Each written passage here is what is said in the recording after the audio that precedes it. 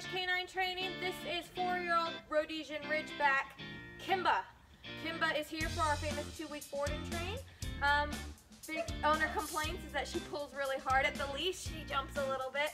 Um, she is actually pretty reactive to any strangers or um, children that she meets. She's just super, super nervous around new people.